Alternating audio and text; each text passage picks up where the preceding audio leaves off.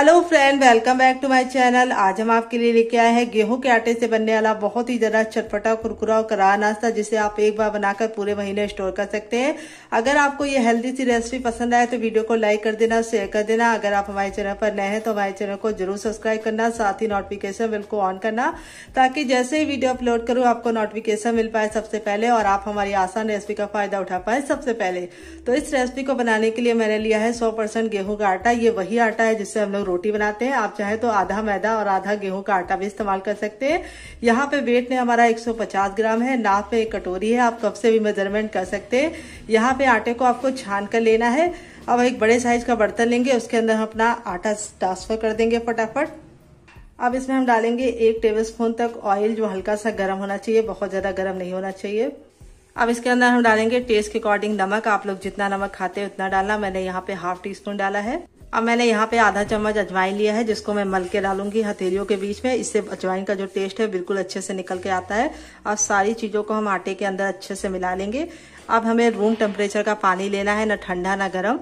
और उससे पहले आपको इस तरह से देखना है। अगर मुट्ठी बांधने पे ये इस तरह से बंध रहा है तो समझ जाइए आपका जो तेल है, वो सही पड़ा है। अगर इस तरह से बिखरा बिखरा से है तो आपको थोड़ा सा ऑयल और गर्म करके डालने की ज़रूरत है। अब इसके बाद हमने एक कप पानी ले लिया है, जो हम थोड़ा थोड़ा डालकर इसका एक टाइट आटा लगाएँगे, जैसे पूड़ी के लिए लगाते हैं, उस तरीके से। तो चलिए फटाफट मसलते हुए हम इसका आटा लगा लेते हैं। फिर आपको हम बताएँगे कि इसके अंदर कितना पानी हमें यूज़ हुआ है।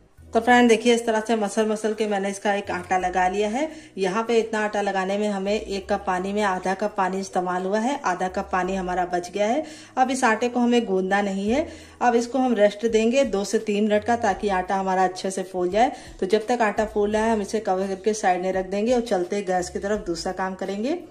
तो फ्रेंड आ गया है गैस की तरफ़। एक कढ़ाई ली है। आप जो भी बर्तन लीजिए, थोड़ा सा भारी लीजिए। अब इसमें हम डालेंगे एक टेबल स्पून तक ऑयल ऑयल को हल्का सा गर्म करेंगे। बहुत ज़्यादा गर्म करने की ज़रूरत नहीं है डियर तो जब हमारा ऑयल गर्म हो जाएगा, हम इसमें एक चम्मच प्याज और एक हरी मिर्च जो हमने इस तरह से कट कर ली, ये डाल देंगे। यहाँ पे हमें प्याज को बिल्कुल भी जलाना नहीं है। हमको हल्का सा ट्रांसपेरेंट कलर आने तक इसे पकाना है। तो ये देखिए, हमारी प्याज पक गई है। अगर आप लोग प्याज नहीं खाते तो आप प्याज को हटा सकते हैं। तो यहाँ पे ज़्यादा प्याज नहीं जाएगी। अब एक शिमला मिर्च जिसको मैंने इस तरह से मोटा मोटा कट कर लिया है ये डाल देंगे। शिमला मिर्च आँखों के लिए बहुत ज़्यादा फ़ायदेमंद होता है और ये आपकी हड्डियों को मजबूती देता है, क्योंकि इसमें पाया जाता है कैल्शियम और बच्चे बहुत ज़्यादा नखरे करते हैं तो आप इस तरीके से उनको खिला सकते हैं। तो शिमला मिर्च को पकने में बिल्कुल भी टाइम नहीं लगता है इसीलिए हम इसे सिर्फ़ 10 सेकंड ही पकाएँगे। तो यहाँ पे देखिए शिमला मिर्च अच्छे से हो गया है। अब इसमें हम डालेंगे हाफ़ टी स्पून तक जीरा। तो फ्रेंड, ये गया हमारा हाफ़ टी स्पून तक जीरा और जीरे को भी अच्छे से चटका लेंगे। तो यहाँ पे जीरे को काला नहीं करना है। 10 से 15 सेकंड हम जीरे को अच्छे से भूनेंगे। और अब इसमें हम हाफ़ टी स्पून तक डालेंगे हींग, और हींग ज़रूर डालना है। इससे बहुत ही अच्छी खुशबू और टेस्ट आएगा। तो यहाँ पे जब हमारी शिमला मिर्च अच्छे से भुन जाएगी, तब इसमें हम क्या डालेंगे? एक चम्मच बेसन डालेंगे, और बेसन डालना ज़रूरी है। इससे बहुत ही अच्छा टेस्ट मिलेगा। तो एक छोटा चम्मच मोटा महीन जैसा ही बेसन हो, आप डाल लीजिए। चाय वाला चम्मच डालना, बहुत ज़्यादा बेसन मत डालना।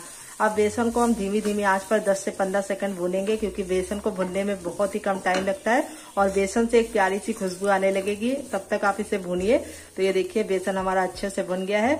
अब इसमें हम क्या ऐड करेंगे? बच्चों का फेवरेट वो है आलू। तो यहाँ पे हमने 250 ग्राम आलू लिया है वेट में। नाप में ये पाँच से छह आलू है, जिसको मैंने बॉईल करके इस तरह से मैश कर लिया है। तो यहाँ पे आलू को बॉईल करने के बाद, ठंडा करने के बाद मैश करना या ग्रेट करना, जो भी आपको करना है अब हम सारी चीज़ों को बढ़िया तरीके से मिक्स करते हुए 10 से 15 सेकंड और भूनेंगे ताकि आलू का जितना भी मॉइस्चर है वो खत्म हो जाए और ये बिल्कुल अच्छे से भुन जाए और इसमें से एक प्यारी सी खुशबू आने लगे।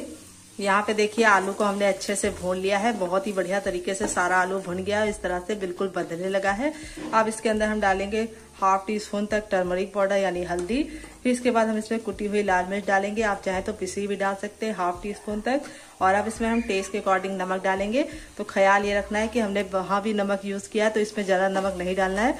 और इसको डाल के हम अच्छे से मिक्स कर लेंगे। पहले और मसालों का कच्चापन हमें दूर करना है, इसीलिए हम इसे 10 से 15 सेकंड वापस से भूनेंगे आलू के साथ ताकि मसाले भी हमारे अच्छे से भुन जाए। और अब इसमें हम डालेंगे चटपटा बनाने के लिए एक चम्मच चाट मसाला। अगर आपके पास चाट मसाला ना हो तो आप लोग ड्राई आमचूर पाउडर यानी खटाई डाल लेना। फिर इसके बाद हम इसमें चौथाई चम्मच गरम मसाला डालेंगे। ये मेरा होममेड है, अगर आपको इसकी रेसिपी चाहिए तो कमेंट बॉक्स में कमेंट करना, आपके साथ शेयर कर देंगे। और वहाँ पे हम अच्छे से फिर से इसकी बुनाई करेंगे। ये देखिए, बिल्कुल अच्छे से हमें सारे मसाले आलू के अंदर मिला देने हैं ताकि इक्वल सा हर जगह टेस्ट आए। अब इसमें हम डालेंगे दो से तीन चम्मच हरा धनिया, जिसको हमने मोटा मोटा कट कर लिया है, जिसमें बिल्कुल ही पानी नहीं होना चाहिए। अगर आप हरा धनिया नहीं खाते तो आप इसमें थोड़ा सा कसूरी मेथी डाल सकते हैं या फिर आप इसमें पुदीना कट के कड़ी पत्ता भी डाल सकते हैं। जो आपको पसंद हो, आप डाल लेना। तो मुझे हरा धनिया बहुत पसंद है, इसलिए मैंने डाल दिया है। अब सारी चीज़ें हमारी बिल्कुल अच्छे से पक गई हैं। अब इसको हम फटाफट निकाल कर ठंडा करेंगे। तो जब तक ये ठंडा होगा, तब तक हमें वेट करना है। तो चलिए इसको ठंडा कर लेते हैं। तो फ्रेंड देखिए, ये इतना ठंडा हो गया कि हम इसे छू पा रहे हैं। बहुत ज़्यादा ठंडा करने की गलती मत करना। अब हम अपना आटा चेक कर लेते हैं। अब इसको हम हल्का सा मसलेंगे ताकि ये चिकना हो जाए। और मसल मसल के हम इसको हल्का सा चिकना करने के बाद इस तरह से काउंटर पे रखेंगे और इसको हम दो भागों में डिवाइड करेंगे। तो यहाँ पे देखिए हमारा जो डो है वो कितना लचीला है, आपका भी इसी तरीके से होना चाहिए। और अब इसको हम इस तरह से दो भागों में डिवाइड कर लेंगे। और एक भाग को हम लेके इस तरह से पेड़ा बनाएँगे, जैसे हम रोटी के लिए बनाते हैं। और अब हम थोड़ा सा चावल का आटा लगा के इसे रोल आउट करेंगे। तो फ्रेंड, ये देखिए, मैंने चावल का आटा लगा लिया है। अब इसको हम इस तरह से बिल्कुल पतला सा बेल लेंगे, जैसे हम रोटी बेलते हैं, उसी तरीके से ख्याल ये रखना है कि कहीं से ऊँचा नीचा नहीं होना चाहिए, एक बराबर बेलना है। तो फ्रेंड, ये देखिए, मैंने इसको बेल लिया है। अगर आपका गोल नहीं बनता है तो घबराने की ज़रूरत नहीं है। आप इसे बस एक बराबर बेल लीजिए, बस। ये देखिए, इसे मैंने रोटी की तरह रखा है, बहुत ज़्यादा मोटा नहीं होना चाहिए। इस तरह से आपके फिंगर दिखने चाहिए, ऐसा होना चाहिए। जैसे चपाती बेलते उसी तरीके से। अब हम क्या करेंगे? थोड़ा सा वाटर लेके इसके सेंटर पर इस तरह से अप्लाई करेंगे। दो से तीन बूंद। और अब हमारा जो आलू वाला मिश्रण था, इसको हम आधा डिवाइड कर लेंगे। और इसको हम इस तरह से फैला लेंगे। तो बेसन डालने से बहुत ही अच्छा टेक्सचर आ जाता है, ये देखिए। और अब हम इसे फोल्ड करेंगे। तो यहाँ पे हमें सेंटर पे पानी ज़रूर अप्लाई करना है। और यहाँ पे भी हमें पानी अप्लाई करना है। ये दो हिस्से को आपको पानी से अच्छे से कवर कर देना है। अब हमें इस तरह से उठाना है और इसको हम इस तरह से फोल्ड करते जाएँगे। तो यहाँ पे इस तरह से आप इसको पहले ले आइए, फिर उसके बाद यहाँ से आप इसको उठा लीजिए और इसके ऊपर इस तरह से कर दीजिए। जैसे भी आपको फोल्ड करना है अपने तरीके से भी फोल्ड कर सकते हैं। तो यहाँ पे अब हम इसके सेंटर निकाल देंगे और इसके भी सेंटर निकाल देंगे। क्योंकि यहाँ पे हमारा कोई भी मसाला नहीं है और अब हम इसको यहाँ पे इतनी इतनी दूरी पे डिवाइड करेंगे। तो इसी तरीके से हम दूसरा वाला भी बेल का बना लेते हैं, फिर आपसे मिलते हैं। तो फ्रेंड देखिए, इस तरह से बना लिया है। आप इसे बनाकर फ्रिज में भी लगा सकते हैं। जब आपका मन हो या मेहमान आए, आप इसे बना सकते हैं। तो यहाँ पे जिसमें मैंने आटा गूंदा था, वो वाला बर्तन ले लेंगे। अब इसके अंदर हम डालेंगे एक चम्मच तक ऑयल और अब इसमें हम डालेंगे आधा कप पानी। बस इतना पानी डालना है, ज़्यादा पानी नहीं डालना है। हाफ़ टी स्पून तक हम शुगर डालेंगे, जिसको चीनी ही बोलते हैं। और अगर आप इसको शक्कर भी बोलते हैं, अगर इसका कोई नया नाम हो तो कमेंट बॉक्स में ज़रूर बताना। अब इसके बाद हम इसमें चौथाई चम्मच डालेंगे नमक और इसको हम अच्छे से मिला लेंगे ताकि हमारी सारी चीज़ें आपस में बिल्कुल अच्छे से मिल जाए और शुगर मेल्ट हो जाए। तो फ्रेंड, जब आप इसको अच्छे से मिलाएँगे तो इस तरह से ये व्हाइट हो जाएगा। ये देखिए, बिल्कुल बढ़िया तरीके से हो गया है। सारी चीज़ें मिल गई हैं। अब इसके अंदर हम क्या डालेंगे? मैदा, चार टेबल स्पून तो सिर्फ़ चार चम्मच मैदा डालना है। चार चम्मच हम डालेंगे कॉर्नफ्लोर अगर आपके पास ये ना हो तो आप इसके बिना भी बना सकते हैं। सिर्फ़ मैदा डाल के बना लीजिएगा। और इसको डालने से काफ़ी कुरकुरा और क्रिस्पी टेस्ट आएगा। हाफ़ टी स्पून तक कुटी हुई लाल मिर्च आप चाहे तो पिसी भी डाल सकते हैं और सारी चीज़ों को हम वापस से मिला लेंगे। और अब इसके बाद थोड़ा सा पानी और डालेंगे और इसका एक पतला सा घोल रेडी करेंगे। और इसे हमें दो से तीन मिनट का टाइम देना है ताकि ये बिल्कुल अच्छे से फूल जाए। दो से तीन मिनट बाद हम आपको मिलते हैं। तो फ्रेंड देखिए, दो से तीन मिनट हो चुका है, ये बिल्कुल अच्छे से फूल गया है और यहाँ पे ये भी रेडी अब चलते हैं बनाने की प्रोसेस की तरफ़। तो फ्रेंड आ गए गैस की तरफ़ हमने एक पैन लिया है, इसमें हमने तेल रख दिया है। तो यहाँ पे आपको बहुत ज़्यादा भर के तेल लेने की ज़रूरत नहीं, तेल को अच्छे से गर्म कर लीजिए। अब एक हम उठा लेंगे और इसको हम इस तरह से अच्छे से कोट कर लेंगे। ये देखिए, और अब हम इसके अंदर डाल देंगे। तो इस तरीके से आपको कोट करके डालना है, इससे ये बहुत ही बढ़िया कुरकुरा और क्रिस्पी तैयार होगा।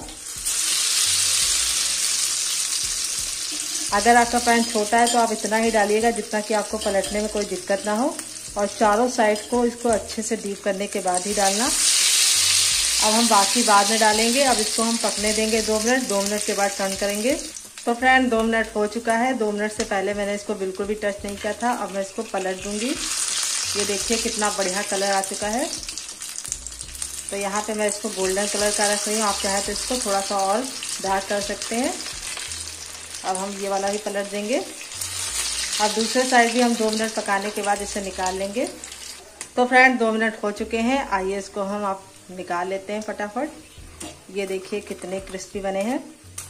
देख सकते हैं आप लोग। दूसरा साइड भी हमारा बिल्कुल अच्छे से हो गया है। आप चाहे तो इसे डार्क कर सकते हैं। आपकी अपनी मर्ज़ी है। मैं इसे बहुत ज़्यादा काला नहीं करूँगी। ये देखिए कितने मज़े के हैं। और बिल्कुल भी मसाला हमारा बाहर नहीं निकला। जैसे हमने डाला था, बिल्कुल वैसे ही निकाला है। तो दोबारा बनाने के लिए हमें तेल को फिर से गर्म करना है।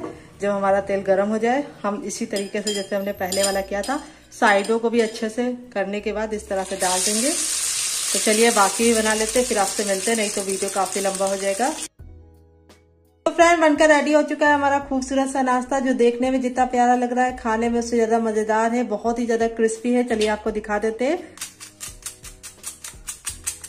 और दूसरी बात, हमने इसे गेहूँ के आटे से तैयार किया है तो बहुत ज़्यादा हेल्दी है, और ये देखिए कितने अच्छे से कुक हुआ है। और आप इसे इस तरह से बनाकर पूरे महीने स्टोर कर सकते हैं और इसे मैंने सर्व किया है केचप के साथ। आप इसे मोमोज चटनी के साथ या ग्रीन वाली चटनी के साथ दिखा सकते हैं। तो कैसी लगी आपको ये अमेजिंग सी रेसिपी जल्दी से कमेंट बॉक्स में बताना। अगर आपको रेसिपी पसंद आए तो वीडियो को लाइक कर देना शेयर कर देना। अगर आप हमारे चैनल पर नए हैं तो हमारे चैनल को सब्सक्राइब कर लेना। साथ ही नोटिफिकेशन बेल को ऑन करना ताकि जैसे ही वीडियो अपलोड करूँ आपको नोटिफिकेशन मिल पाए सबसे पहले और आप हमारी आसान रेसिपी का फ़ायदा उठा पाए सबसे पहले। तो कैसी लगी आपको रेसिपी चटनी की बताइएगा और इसकी बताइएगा। दोनों में से पसंद आया आपको, जल्दी से कमेंट बॉक्स में कमेंट करना। मिलते हैं बहुत ही आसान रेसिपी के साथ जल्दी। तब तक इसे बनाइए, खाइए, अपनी फैमिली वालों को खिलाइए। बहुत ही ज़्यादा मज़ेदार होने के साथ साथ हेल्दी भी है, कम तेल की भी है। और मिलते हैं हम बहुत ही जल्दी नई रेसिपी के साथ। तब तक आप कमेंट बॉक्स में कमेंट करके बताइए कि आपको इस रेसिपी में सबसे अच्छा क्या लगा। Bye take care love you all